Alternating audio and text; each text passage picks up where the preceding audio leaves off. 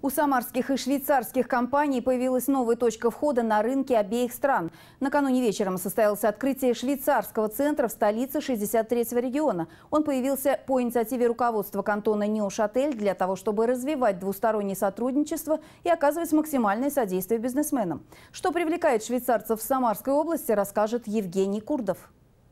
Швейцария не только страна шоколада, сыра, вина и часов, мощная фармакологическая промышленность, производство медтехники, микроэлектроники, высокоточное машиностроение. Лишь малая доля тех сфер, где может быть налажено взаимовыгодное сотрудничество.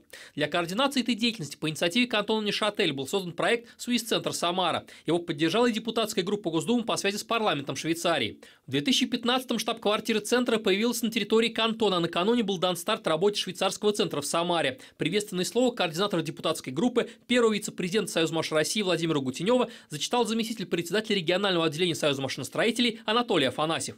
Он отдельно подчеркнул, что накануне у него состоялась встреча с представителями швейцарской стороны, где была достигнута договоренность разработать и подписать соглашение о сотрудничестве.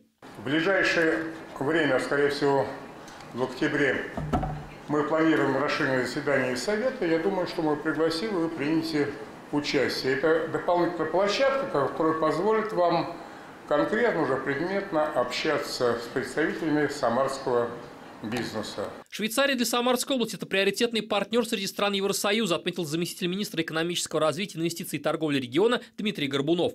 Новый этап взаимодействия начался в 2012 году, когда в губернию прибыла официальная делегация Швейцарской конфедерации.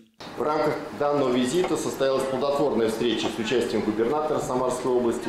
Отмечу, что организация этого визита состоялась благодаря деятельности Российско-швейцарского промышленного клуба и его директора Ганина Сергея Александровича.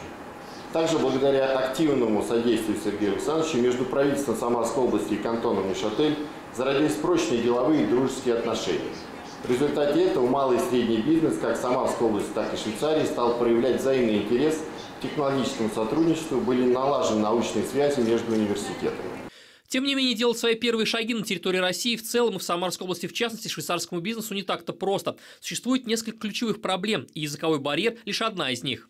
Конечно, менталитет. Все по-другому настроено в России, по-другому в Швейцарии. У нас есть другие а, реальности да, по территории, по промышленностям, по а, истории. И это сильно влияет тоже на взаимопонимание.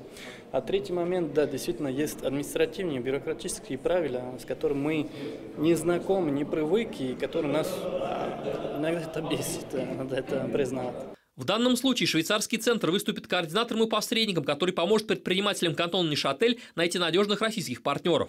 Кроме того, его возможности доступны для отечественного бизнеса. Прямо в день открытия центра были подписаны соглашения о сотрудничестве с Самарским государственным экономическим университетом и рядом российских компаний.